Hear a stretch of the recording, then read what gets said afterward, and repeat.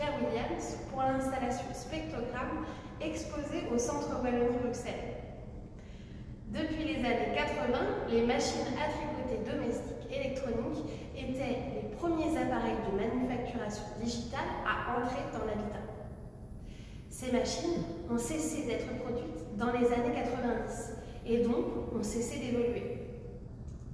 Ces dernières années, les hackers et les makers ont commencé à ouvrir les machines à tricoter, trouvant différentes manières de les détourner en pilotant directement avec leur ordinateur moderne ces machines obsolètes. Pour notre exposition, l'artiste s'est attaché à recueillir les spectres électromagnétiques de nos espaces et sur le seuil du centre Wallonie-Bruxelles. Deux pièces sont par ailleurs exposées, l'une effectuée pendant la résidence à Roubaix de l'artiste pendant l'élaboration de cette installation,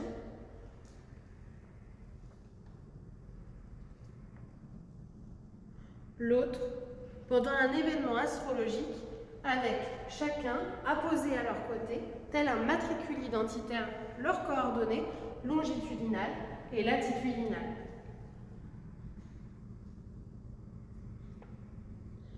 Loin de l'artisanat qu'évoque la machine à tricoter, ce système programmé donne la possibilité aux quatre langages, sonores, numériques, électroniques et textiles, de communiquer de manière autonome dans une boucle où l'humain est exclu, rendant tangible leur conversation mathématique. L'intervention de l'artiste est retranscrite exclusivement dans le choix du lieu exploré et parcouru de manière nouvelle.